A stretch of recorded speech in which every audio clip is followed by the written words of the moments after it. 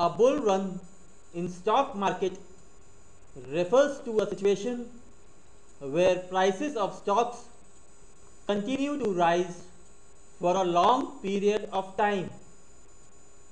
A bull run generally occurs during the growth phase of an economy or in anticipation of high economic growth in near future.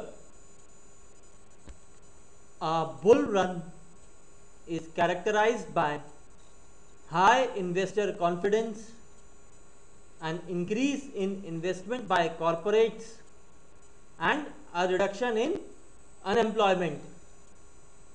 So friends, I hope you have understood the term bull run and that's it for now and please continue watching my channel for more videos and please subscribe to my channel. Thank you.